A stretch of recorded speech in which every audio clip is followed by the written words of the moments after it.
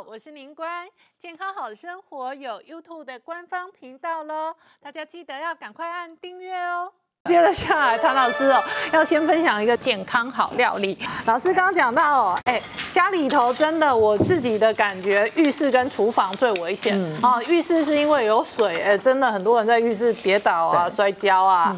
然后厨房是又有火又有水，然后水火有的时候带来风险哦。对。那老师今天要分享一个健康好料理哦。老师今天要烧的是这一个鸡肉饼。对。好，我们先给镜头看一下，这个是老师事先。已经煎好的肉饼，对，哎，它事实上看起来有点像汉堡排，耶。对，其实这个就是鸡肉丸子啦，但是我们为了增香它的那个香味，所以呢，我们就是直接把它就是煎过它，这样会比较好吃。那这个肉泥怎么做呢？其实就是你把那个鸡胸肉，鸡胸肉，然后或我这次用的是鸡腿，因为我觉得鸡胸肉可能太涩了，对。然后呢，你就鸡腿，然后呢，你要一直把它同一个方向搅打。然后搅打均匀之后呢，你可以放一点那个味增，好，然后一颗蛋，然后一点太白粉，好，然后呢，重点就是你要不要呃马上打完，马上就拿来这个做丸子，嗯，你要把它放在冰箱一个晚上，好，一个晚上来，首先就是呃绞肉碎肉的鸡肉，那当然这个鸡胸肉跟腿肉都可以，那先把它。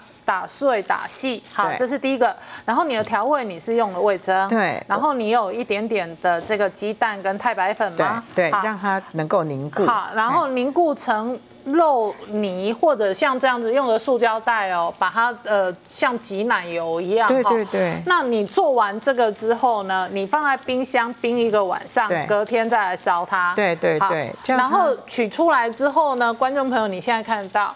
它事实上直接哦，简单的挤压下来，它就可以成这一个饼状嘛。对。所以你现在是做小的肉饼嘛？你如果要做一大块肉饼也是可以的嘛。因为我今天是要把它再煮成像关东煮一样，所以呢，我就要一小块一小块的。对。好。然后因为这样子不用煮，不用煎太熟。对，因为鸡肉其实也熟得快。对。然后我有这个海带跟那个呃红白萝卜先煮了。好。那我们呢就是要有很多的蔬菜。好。我们的关东煮其实是先熬了红白萝卜跟海带哦，那它其实就是很耐煮的高汤了。对，然后呢，这也很简单，我们就把这个。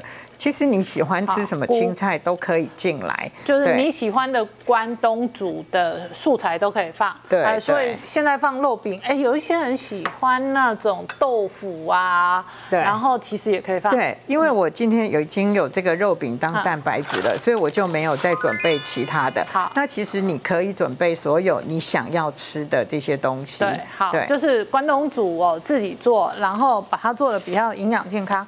好，这个肉饼刚刚只是。是老师示范一下，它事实上是两面把它煎的焦香啊，还没有全熟，所以入汤锅我们会煮它、烧它，等它熟。唐老师，我们来看一下你的关东煮。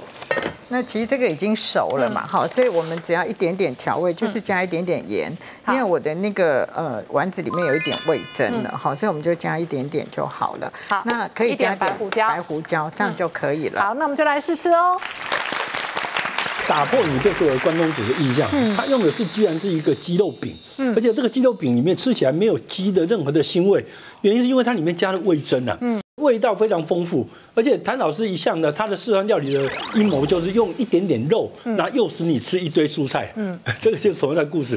那个我相信鸡肉饼里面那个鸡肉是相当有限的，嗯，那旁边就加了一堆萝卜啊这些东西蔬菜，那你吃下去又觉得很清淡，嗯，然后又很开胃。那不会像普通吃肉食这样子，会觉得油腻腻的感觉，所以这个呢是不管夏天冬天吃，冬天吃觉得热乎乎的，夏天吃也是很清淡，也可以很容易的入味。